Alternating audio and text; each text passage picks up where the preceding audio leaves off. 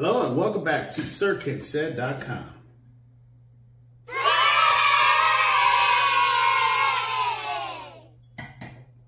We have got some shit to talk about today. I wanted to get a few things off my chest that have come to my attention lately. Namely, this fat, pasty, doughboy, pasty, this motherfucker has all the money in the world and you can't get a personal trainer, maybe some lipo, motherfucker, put a shirt on. Anyway, I heard Elon Muskie had thrown shade at um, Bob Iger recently because uh, Iger and Disney decided to pull their um, donations funding commercial ads from Twitter.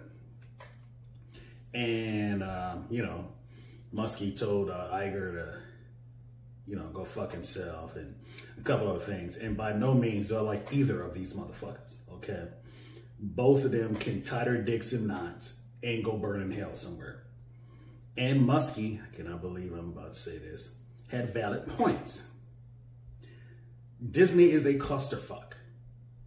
And this $800 million motherfucker is at the center of said clusterfuck.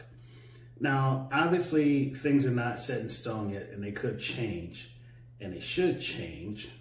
But the series that he is not bringing back for Disney Plus to save money, remember, he's individually worth $800 million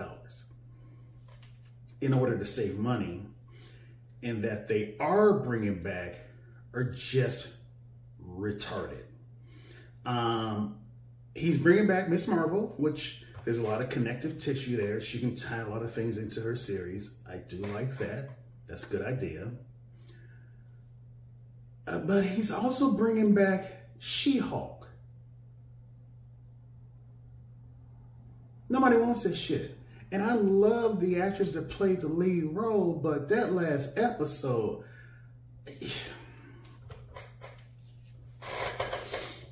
mm.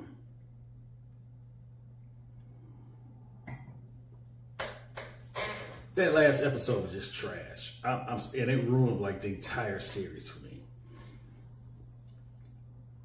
I don't understand how you're bringing back She-Hulk, but you're not bringing back the Falcon and the Winter Soldier when the Falcon, the new Captain America, has a big screen movie coming out, which after that movie drops, you could neatly tie the, the after after effects of said movie into a six episode series, which could also lead into the Thunderbolts.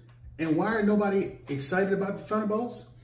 Everybody knows the best version of the Thunderbolts was Deadpool, Punisher, Elektra, Agent Venom, Red Hulk. These folks you got on there right now, ain't nobody hyped about them. Excuse me, ain't no comic book fans hyped about them.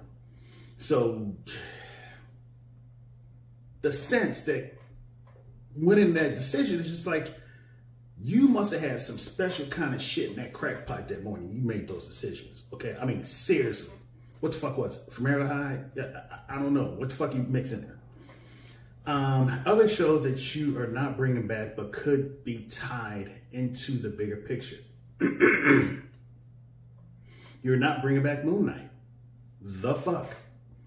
You're not bringing back or introducing a or having more appearances from Werewolf by Night.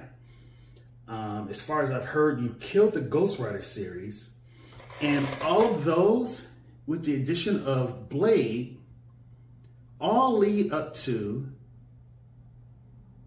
the Midnight Suns, which, with the addition of uh, Doctor Strange, who brought them all together, is something people want to go see. Oh, and by the way, why are we still discussing whether or not Blade should be R rated?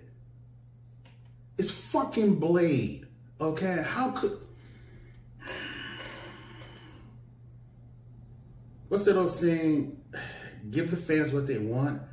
I don't know what fans you're listening to who told you that you can get away with a PG 13 blade. I, I just don't. I, who the fuck are you listening to? Um, the decisions that you're making, Iger, in the wake of everything that was exposed during the writers and actors strike, because I had no idea just how fucking comically diabolical you are, you cheap fuck. Um, you've got to start making better decisions.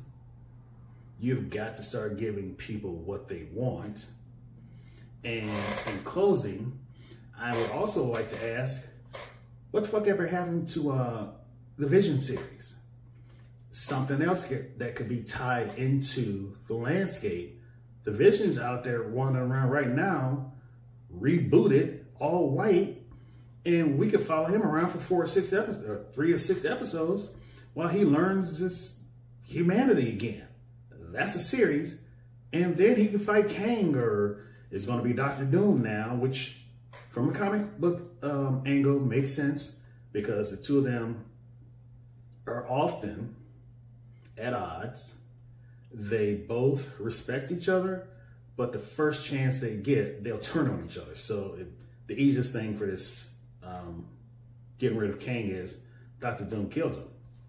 That that's a wrap, you know, because we comic book fans know that that happens a lot. But uh, yeah, I just wanted to get that off my chest. I, I heard about this, and I'm madder at Muskie for making me agree with him. But uh, yeah, Iger, you need to unfuck yourself with a quickness. I'm just saying,